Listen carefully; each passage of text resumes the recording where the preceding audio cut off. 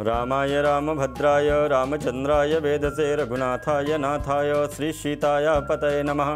प्यारे मित्रों, जय श्री राम जय माता दी मित्रों, बात कर रहे हैं हम एकादशी की। एकादशी के दिन हमको क्या क्या नहीं करना चाहिए?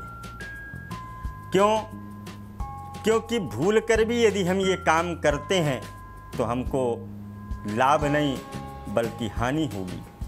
इस दिन भगवान विष्णु की पूजा की जाती है तो हमको भगवान विष्णु की पूजा करनी चाहिए। जप, तप, दान इत्यादि के द्वारा भगवान का हमको पूजन करना चाहिए। दूसरी बात, मित्रों, हम आपको बताएँ कि एकादशी के दिन चावल नहीं खाने चाहिए, क्योंकि चावल खाने से मन चंचल होता है और प्रभु से विमुख हो जाता है। पहला कारण, चावल हमको नहीं खाने चाहिए। दूसरा कारण है पान, तंबाकू, जर्दा, शराब इत्यादि ये नशीली पदार्थों का सेवन हमको नहीं करना चाहिए। अगर हम ऐसा करते हैं तो हमारा मन कदापि भी भगवान की ओर अग्रसर नहीं होगा। और इसके बाद में मित्रों, तीसरा, दतून नहीं करना चाहिए, क्योंकि पेड़ की डाली को तोड़ना नहीं चाहिए। उंगली से या ब्रश से उस दिन दतून करना चाहिए। एकादशी की रात को सोना नहीं चाहिए, कीर्तन करना चाहिए। और कीर्तन करते समय ये नहीं कि आधी रात तक जगे और इसके बाद में सो गए। चार बजे प्रातःकाल तक जगना चाहिए, कीर्तन करना चाहिए। नारायण नाम का ओम नमो भगवते वासुदेवाय इस मंत्र का जप करना चाहिए। मित्रों, जागरण के नाम पर बहुत से लोग क्या करते हैं कि ताश पत्ते खेलने लगते हैं कि मुझे पूरी रात जागरण करनी है। वह ताश खेलने लगते, पत्ते खेलने लगते। इस काम को भी नहीं करना चाहिए, क्योंकि इस काम को यदि आप करते हैं तो परिवार पूरे के पूरे बर्बाद हो जाते हैं। आप देखिए महाभारत के अंदर इसी जुए के कारण कितना बड़ा युद्ध हो गया था।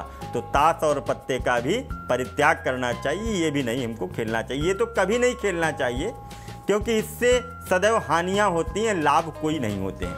मित्रों, इसके साथ साथ क्रोध करने से मन अशांत होता है, नकारात्मक विचार आपके मन में आते हैं, मन स्थिर नहीं होता, इसलिए क्रोध को भी नहीं करना चाहिए। और कभी नहीं करना चाहिए, यदि क्रोध करते हैं तो हमारा परिवार भी विघटित होता है। परिवार जुड़ता नहीं, परिवार बिखरता है, इसलिए क्रोध नहीं करना चाहिए। एकादशी के दिन उपवास करें या न करें, परंतु ब्रह्मचर्य व्रत का पालन ज़रूर करना चाहिए मित्रों। चोरी नहीं करना चाहिए।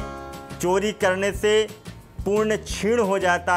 यदि किसी की कोई वस्तु पड़ी है तो उसको पड़ी रहने दें, उसको उठाएँ नहीं। उठाते हैं तो आपका जो पुण्य है, यह पुण्य क्षीण हो जाएगा और आपको लाभ की प्राप्ति नहीं होगी। हिंसा नहीं करनी चाहिए पशुओं का वध नहीं करना चाहिए और ना ही पशुओं के मांस का भक्षण करना चाहिए। ऐसा करने से भी हमको कोई लाभ प्राप्त नहीं होता।